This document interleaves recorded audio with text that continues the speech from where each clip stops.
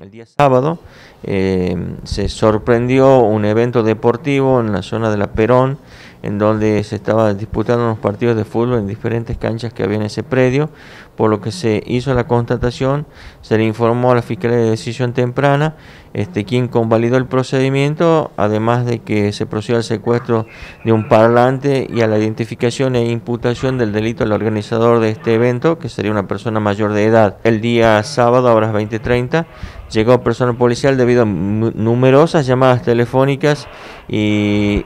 filtraciones de información a través de las redes sociales. Un evento que se estuvo realizando en la zona del Aeroclub.